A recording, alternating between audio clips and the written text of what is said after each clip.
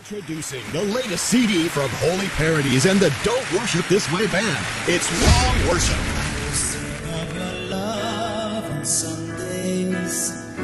Only sing of your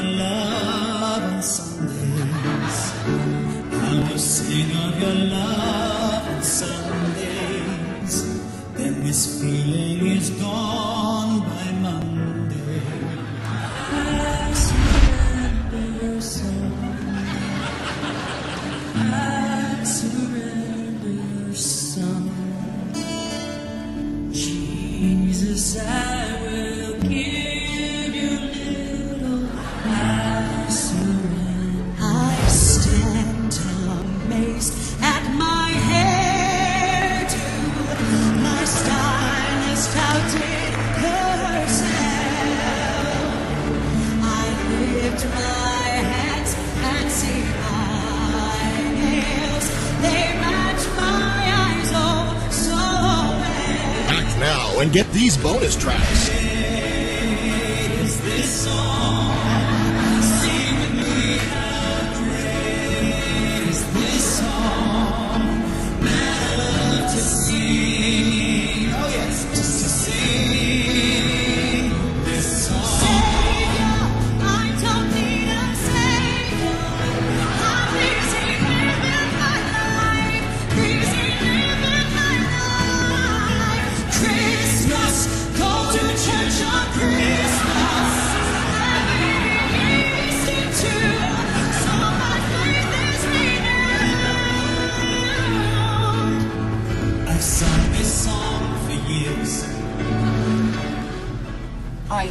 Unto thee this day, and I say, do not take up the enchantments that are throughout the land, do not take up the fantasies, the vanities, the fabricated tales.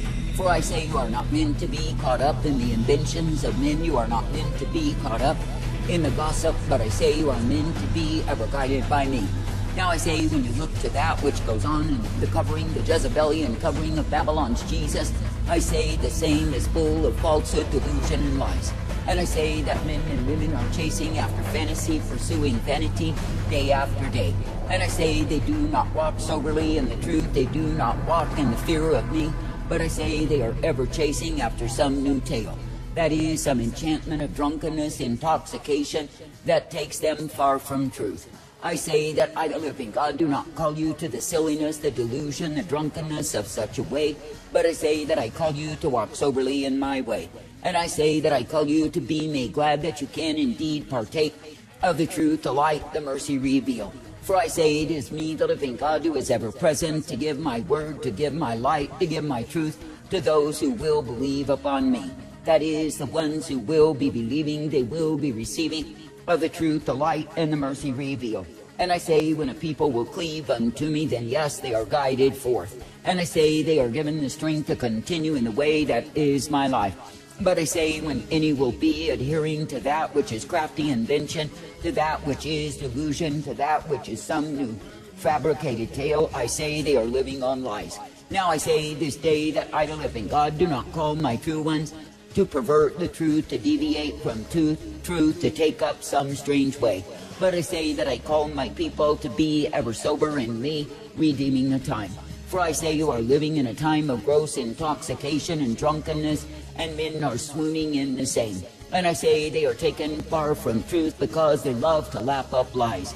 Now I say this day when you consider how evil is the agenda of those who feed lies instead of truth, I say it is destruction of soul. For I say you are not meant to be eating of lies and partaking of the same day after day. For I say when a man is lapping up lies, he is literally taking in the seeds of destruction. And I say that he's going in a way that I did not intend nor provide. Now I say this day, be thankful that you can believe upon me, adhere unto me, and be ever guided in me. And I say, be thankful that I am the one who gives to you the light upon the path. For I say, when you will be accepting of that which I give you time and again, then I say you are ever guided in me. And I say you are given the strength, the truth, and the hope that I provide. Now I say this day when I, the living God, do intend that my people would be ever guided, directed, and corrected by me, it is that they would walk the straight and narrow way. For I say that I never intended for my people to spin out, to go whoring, and take up the way that is found under Babylon's Jesus. For I say that that way is the broad way, and it is the way of destruction. And I say it is the way whereby men and women are victimized under the rule of the Jezebelian spirit that literally teaches them to hate and despise the truth. Now I say there are many in these times, instead of living and walking in the fear of me, I say they have contempt for me. And I say that they have contempt for my way, they do not want to adhere to the same.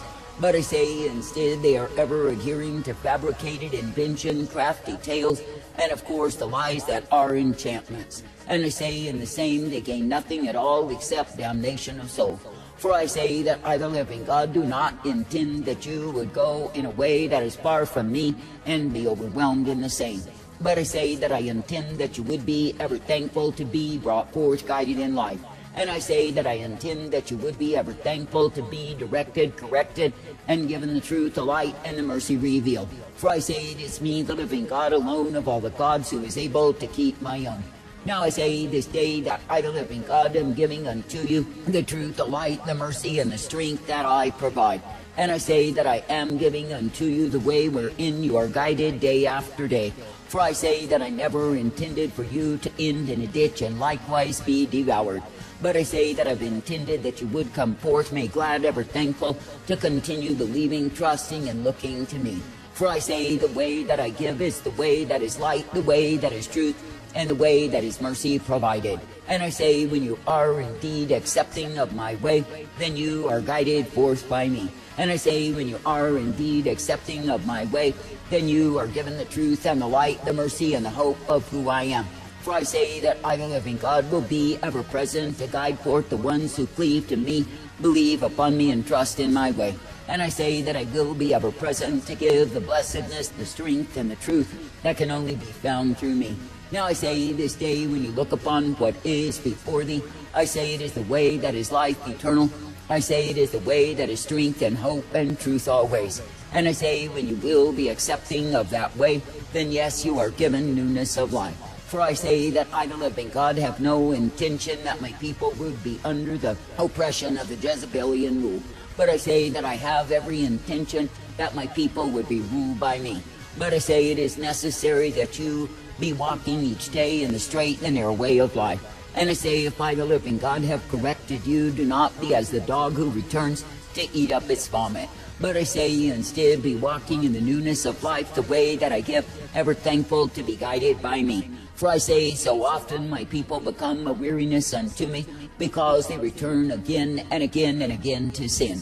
That is, to those things that I've instructed them to stray from, to turn away from, and to walk uprightly in me.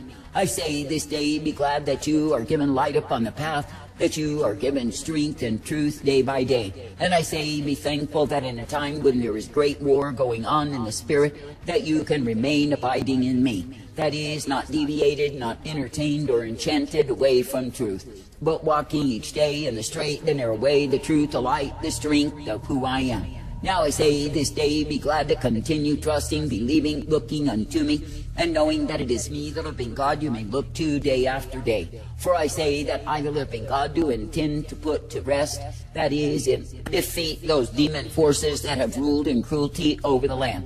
But I say, if men and women refuse to repent, then I say they will be devoured with the wicked. For I say, in their stubbornness and their refusal of my hand of mercy, I say they are damned in the same.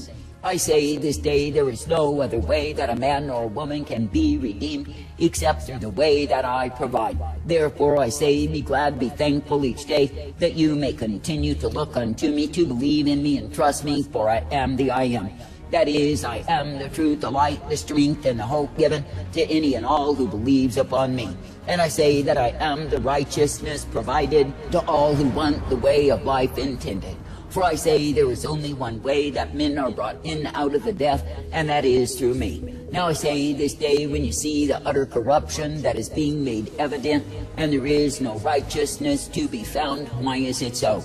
I say it is because the fathers of the faith have gone a whoring for many generations and deviated from the truth. And I say they have loved to lap up enchantments and lies. They have loved illusion and falsehood. And I say they have loved their pretension whereby they have had their own way. And I say they have literally by their backsliding invoked and invited the rule of Jezebel. And she has come in like a domineering queen. And I say she sits enthroned in her own fatness and glory, thinking she remains forever. But I say when men and women will truly cry out in the spirit dimension for my righteousness restored, that I, the living God, will hear them when they cry. And I say it is me, the living God, who does lend my ear to the ones who walk uprightly in me. Therefore I say, do not grow weary in well-doing, do not deviate from the pathway of life that I put before thee. But I say, be ever faithful and true to obey, to walk in my way. And I say, be made glad even now for the privilege that you have been given to be ever guided, directed, corrected, and shown the light upon the path. And I say, be thankful even now to continue trusting, believing, looking unto me, for I am the I am. That is, I am the truth, the light, the mercy, and the strength provided to all who believe upon me. And I say that I am the way that is given to those who are trusting in that which I give them all of their days. Therefore I say, be faithful, be true, be steadily trusting that it is me you can look to, believe in, and obey day after day. And I say, be made glad that I will give you my truth, my light, and my mercy, for I am well able to give to you the same.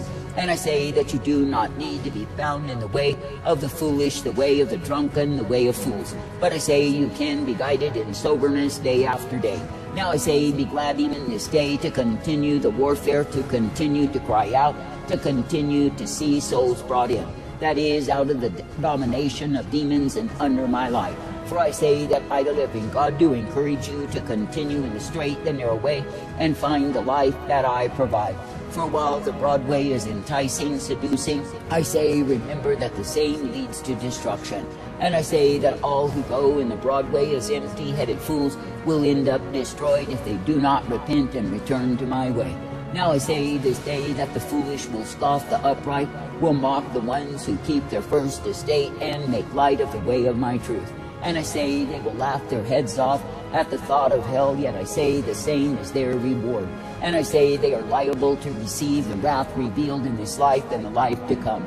And I say it is because they have fed on enchantment, delusion, and the madness of the saints. And I say it is because they are covered in the Jezebelian spirit of mockery and hatred for the truth. I say this day, beware the spirits of mockery, beware the spirits of hatred, beware those undermining spirits that would take your heart away from me. And I say, do not make a pact with evil and think that the same is justified, for I say it is nothing but the way of damnation. And I say, put aside from you the unfruitful works of darkness, do not be a partaker of the same. For I say, wheresoever you keep friendship with the world, you are literally in friendship with demons that have nothing but the agenda of death prepared for you. I say, do not go easy on Jezebel, not at all, for I say that her end is near. And I say that the ones who are found in her household, that is, who eat of her table, will be destroyed. I say, do not eat of the delusion, the lies, the crafty inventions, the fabricated tales. For I say they are the food that is poisonous that she gives to her own. And I say she beckons for any and all to come to the table of death that she has prepared for the unsuspecting, the foolish, the drunken, who will partake of the same. I say this day, eat of the sobering bread that I give you day after day, and be thankful for the same. That is, that you are not enticed, seduced, and led astray, and taken out of my way. For I say, at Jezebel's table, there is vomit all around as men and women have eaten to the full, then gorged themselves and eaten again. For I say they are eating of their own destruction and damnation of soul. I say this day do not, absolutely do not accept every enchantment as though it were the food that I give to my own. But I say, be looking into my word, be abiding by my word, be following my word.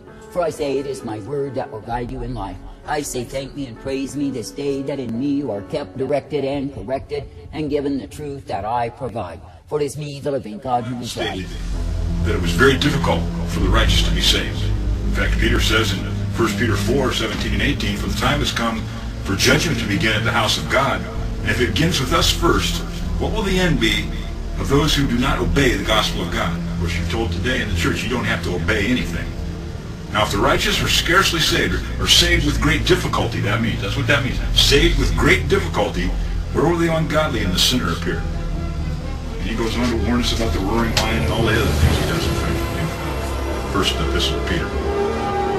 Why would he say that salvation is extremely difficult and perilous, not certain, not a certain outcome, unless you endure to the end, unless he completely understood what the Messiah was teaching him when he walked with him?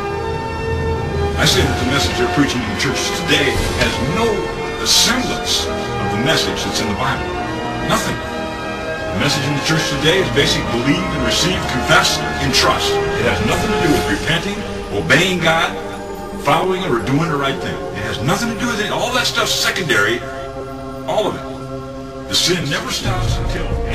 How long were you a slave?